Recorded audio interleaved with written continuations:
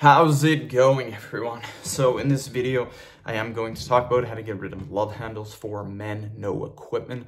So before I get started, please subscribe to my channel if you haven't already. I do appreciate the support, helps my channel grow. So I'm gonna give you guys some tips to getting rid of your love handles. The first tip is love handles are usually one of the last areas of fat to be removed from your body. So for men anyways, we hold fat in our stomach and our love handles. That's very, very common. Women normally hold it in their legs and their thighs. So with that in mind, what a lot of people will do is they will lose weight and right before the love handles are about to come off, they'll stop losing weight.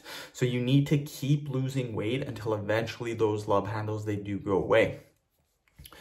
To lose love handles, you need to be in a caloric deficit. So you need to be eating less calories than what your body needs to maintain. So for me, I need to maintain, when I'm lifting five times a week, I need to maintain at about 4,500 calories a day, which is a lot. It's a lot of calories. So for me to lose weight, I eat 4,000 calories and the weight comes off extremely quickly.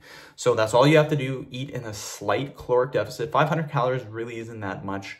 Um, um, it, it's not that many calories to be in a deficit, but it's still very effective.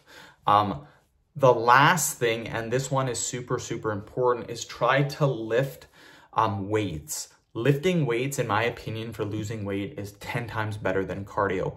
Cardio is good, but I've noticed that cardio, cardio will not maintain muscle mass.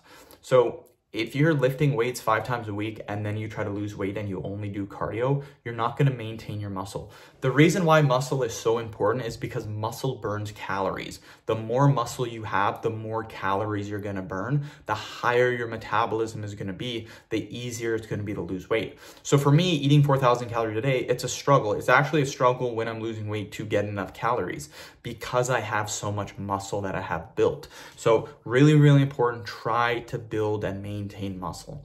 End the video. Thank you so much for watching.